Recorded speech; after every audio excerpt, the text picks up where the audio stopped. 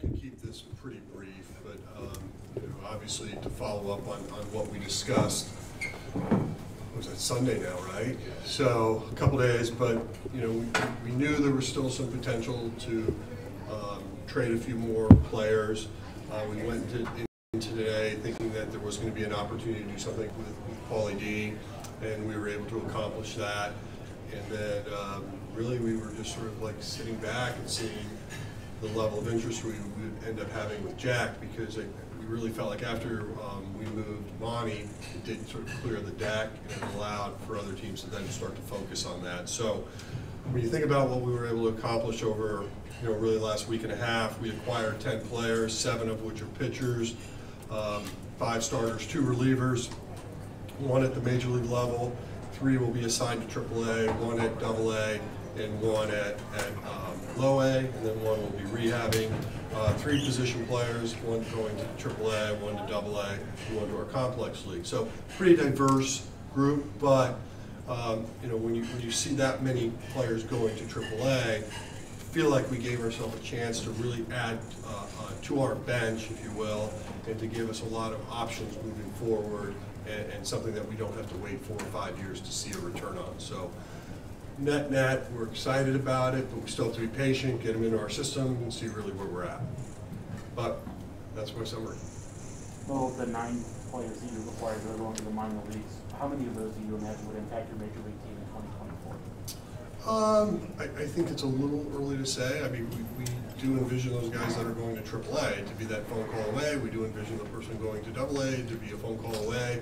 I think, you know, when you're, when you're below that, you've got to earn your way up. But, um, it's not uncommon for someone to go to AA to go to the big leagues. You look at Rom in particular, is that a player who you think maybe is on the verge of being able to make major league starts? Yeah, um, we're certainly excited about getting him. Um, you know, when you, when you look at the breadth of pitching we got, we, we did look at, at guys that were maybe more of a traditional St. Louis Cardinal model, where high ground ball rate, but we also tried to, to tilt more to some swing and miss, and to higher strikeout rate. Know, of the, of the minor league pitchers, several of them that you got are going up a level from where they came. What does that say about where your system was? Well, we also thought of the time of year. My, my guess is some of these guys were about to get promoted anyway. Um, it actually, what it says about our system is it's a little crowded at Memphis, but we wanted to be aggressive with that, and uh, we felt basically how they were performing, they deserved that opportunity to go higher. Well, Because all the guys, most of the guys you traded were gonna be free, that impact on what you could get back. Well, um, I think you hear that phrase, I'm not paying for a rental, so, um, I think you guys can determine how that's viewed, but when you look at the players that were moved and relative to what other teams received, you know, we felt we did well, but I imagine every team feels they did well. But obviously, when you're having a player for, for two months, it's a lot different than acquiring somebody for five years. Well, you've repeatedly stated that you ideally would like to contend in twenty twenty-four. A lot of these moves, while there's some optimism that some of these players could impact the twenty twenty-four roster, don't necessarily have that absolute promise today. But how does bolstering your farm and especially at the upper levels, allow you to, to continue building a competitive roster next year? That, that's a very fair question, and I would say two things. One is the, the depth now that you've added to our minor league system that you didn't have, say, four days ago, has changed dramatically. Um, in terms of impact, when you're looking at, out, at trying to fill three rotational spots, obviously, we know that that's either gonna have to come through the trade market this offseason or the free agent market, and we'll prepare ourselves for the following. But we didn't feel like there was, those types of deals existed to, like, in this process. Um, and so we, we looked at really what path we could go down, and, and we decided to go down the path of, of just adding as much depth or or breadth, if you will, to our system, and I feel like we accomplished that. Now, next year's roster is gonna look different, we know that. Um, we weren't at the competitive level we wanted to be, so change has to happen. You've got quite a crowd in the outfield. Is there interest in outfielders that you have on your roster currently? Yeah, I don't want to get into specifics. I mean, I, I would say like, you know, virtually half our roster people asked about, but as you can imagine, when, when players aren't, aren't performing at the level that we expect them to, it's, it's probably not the ideal time to be, I hate to use the word selling, but, um, looking to trade.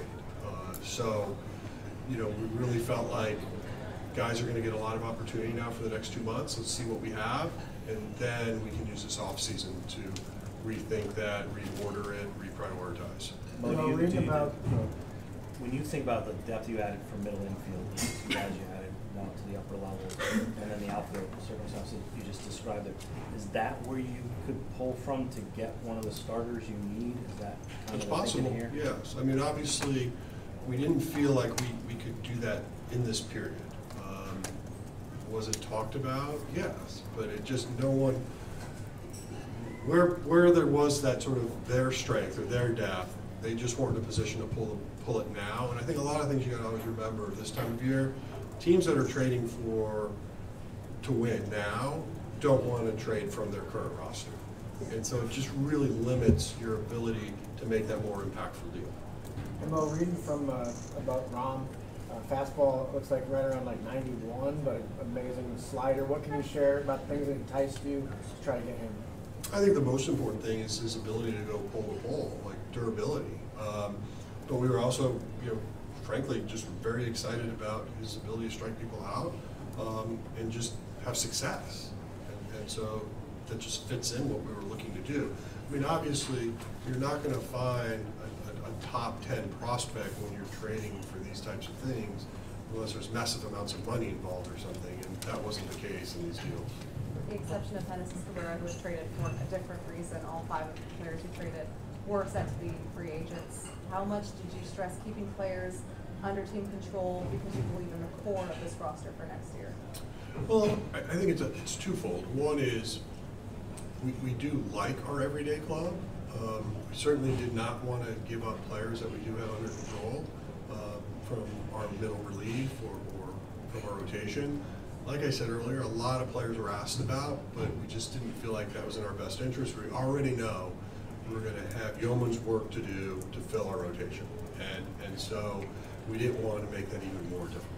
The other day when we, we were in here, you said it's a possibility that Masyn Winn could get called up now the trade deadline's open. Over, what can you share? Is it possible he'll be called up? Sure.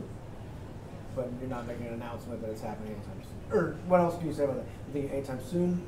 Um, I don't know, but I mean, we just got Tommy Edman back, we're gonna plug and play him at short and, uh, see where we look, but like I said the other day, I, I could envision at some point this year, we see him. Well, do you guys know yet what kind of procedure uh, Donovan will have on his arm? Yeah, he's having a a ligament repair, but it's not Tommy John, Brace,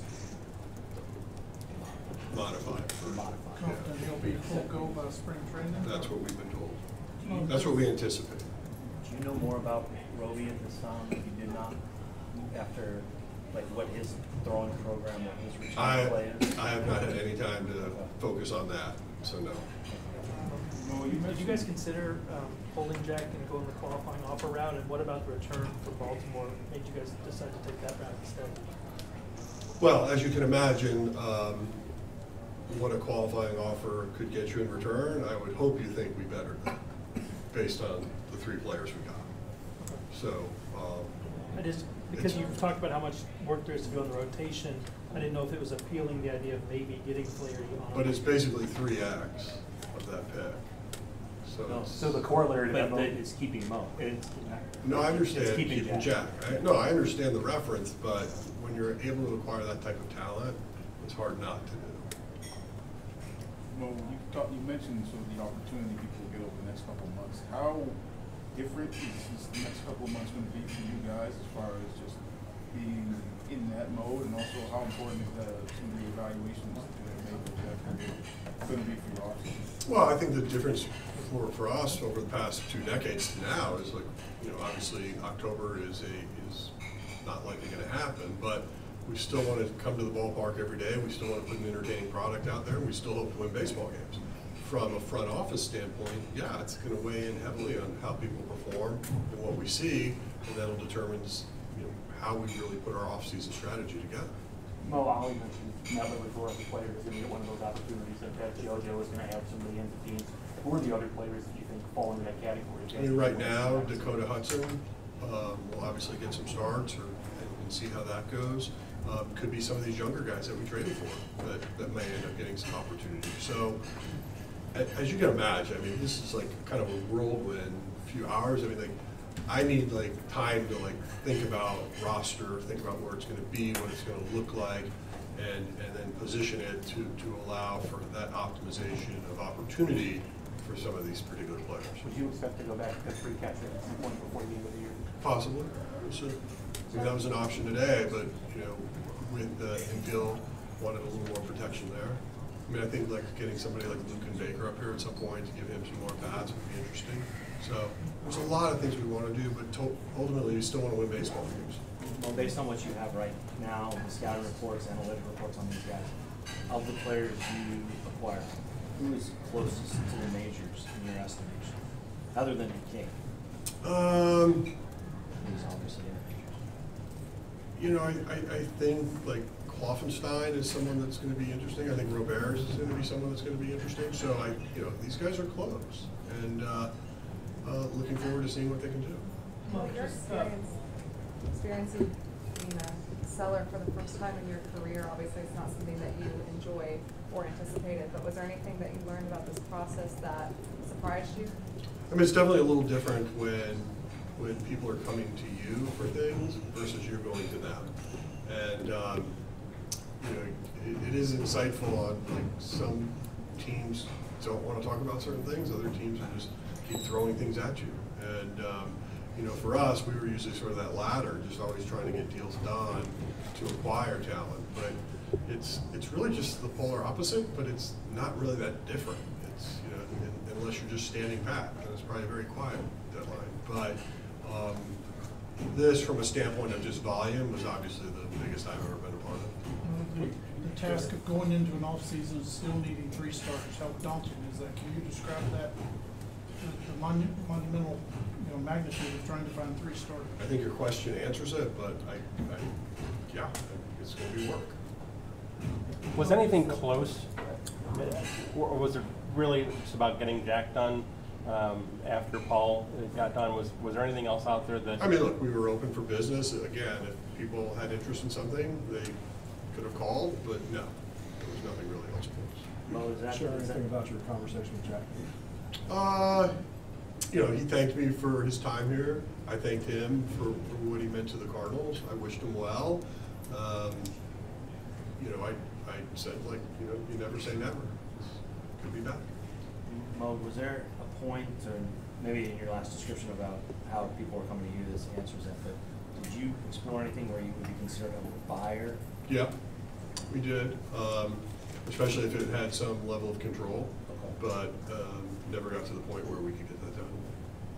Uh, no, just if I back to the Donovan injury, is there sort of a trickle down effect with Masyn Winn and kind of how we get that, if there's a call up, you know, just kind of the timeline on that would kind of help for the rest of the year?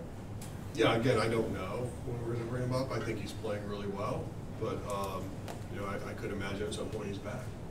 Is one It's an opportunity, not back. is one consideration in that rookie eligibility, it's forty-five days on the roster, obviously takes that away from him. I haven't even thought about that, but thanks for pointing it out. Mo, how much can some of the conversations you've had over the last couple of weeks inform off-season discussions that you may have with other teams? Um, I think it was helpful.